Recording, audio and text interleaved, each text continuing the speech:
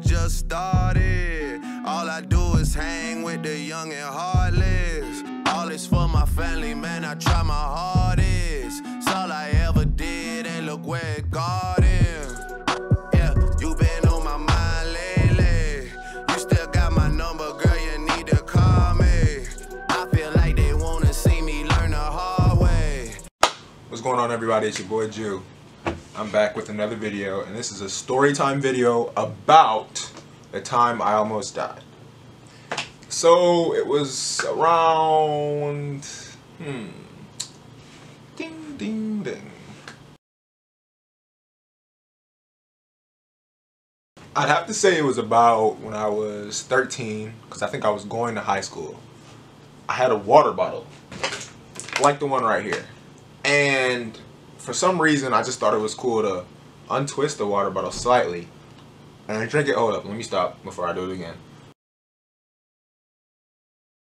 And drink water like that with the cap slightly twisted. So I'd squeeze it and the cap would just pop off just like that.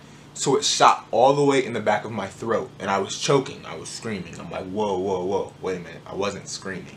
And I started going like this. I'm like, I couldn't breathe. My little brother was right there because we were going outside to go play basketball. He was like, whoa, because he couldn't tell what was going on. So I ran in the house as fast as I could. I was like, ran in. I was knocking on my parents' door because the door was locked. I opened it up and I'm like this.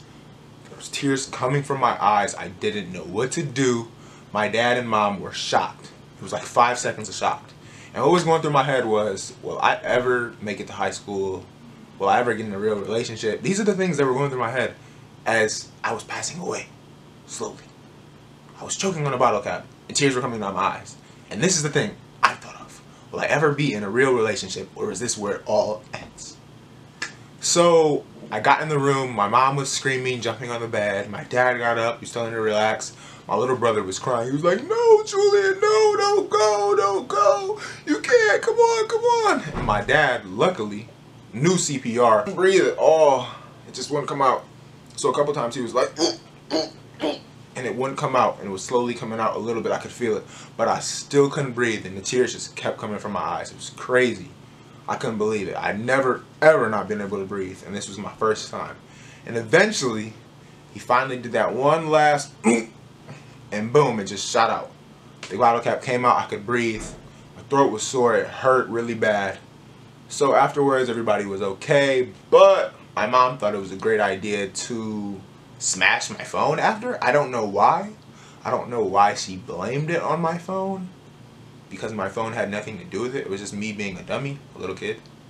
So she took my phone and smashed it with a hammer. And I was like, Mom, why would you do that? And she didn't know. She just did it. Her excuse was because I pay the bill. Really? So the next day, I went to the carnival with all my friends with tape all over my phone and a smashed Android phone. And they were asking me what happened. I just said a freak accident. Or I'd say a hammer hit it. And how does that happen? How does a hammer hit your phone? Oh, because I almost died and my mom hit it with the hammer. That's crazy, right? I know. So yeah, that's my story time video about the time I almost died. Sleep.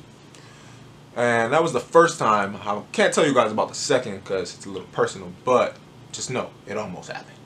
And you know they say a cat has nine lives. I'm not a cat. Oh well. But that's it. Like, comment, subscribe, all that good stuff. Peace. Poke it poke it poke it poke it out, poke it out, poke it out, check it out, check it out.